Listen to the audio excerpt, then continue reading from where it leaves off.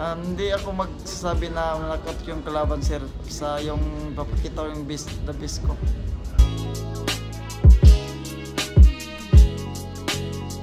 Hi, this is Monty Flores from Fight News Asia. We are here at the Microsoft Theater with Jack Depora. He was supposed to fight at the undercard for Manny Pacquiao versus Broner, but he didn't make it. Um, he was uh, five pounds overweight. Jack, kamusta na? Okay lang sir. Ayos ka ba dyan? Okay lang. Kailan pagdating mo? Um, February 14. Ah, may tatanungin lang sana ako. Yung kung may gusto kong sabihin sa mga fans mo na medyo na-overweight tayo ng mga 5 pounds. Uh, Ano po gusto niyo sabihin sa mga fans sa Philippines? Um, una, nangingi ako ng patawad, sorry dahil di ko na ko yung timbang tapos yung iba naghihintay sa laban ko kasi gusto lang papanood laban ko pero di ko na ko yung timbang ko eh, pero next time kukunin ko talaga. Sino na trainer mo ngayon? Um, si Coach Rodel Mayol, Anong anong weight na lalabanan mo? same pa rin sir, featherweight 126. 2.6. May pangalan na ba yung kalaban mo? Wala pa sir, Ah, training muna dito sa LA para makadap sa ano. yung kalaban mo sana si Hugo Ruiz. Eh. Pinatumba ni ah, Davis.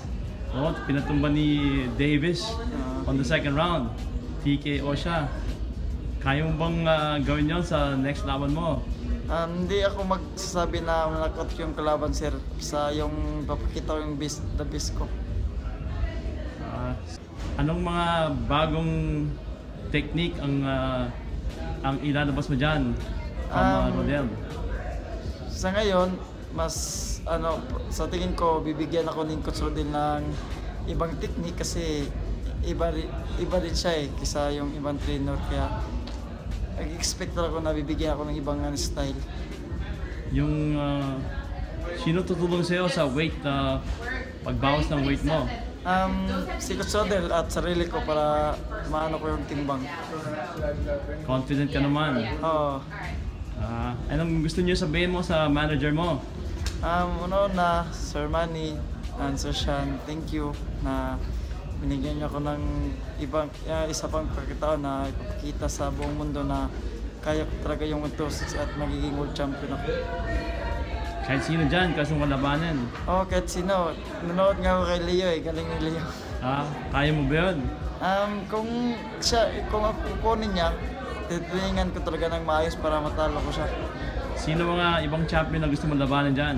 Oscar Valdez, tapos yung IBF, si eh, Warlington, Ah, sino pa? ah yun lang mo sa muna. Ah, sige. This is Flores from Fight News Asia. We are here at Jack Tepora. Nagpapamanhin sa sa pagbawas na hindi makabawas ng weight. And he, that's why he couldn't make the weight that time. But this time, he's with uh, a new coach, Rodel Mayol, Stando Godinez, and still with the same promoters. So we're gonna we're gonna support him. Sige Jack, maraming salamat ah. Thank you din po Monty kaya. Flores Fight News Asia po. Thank you. Thank you.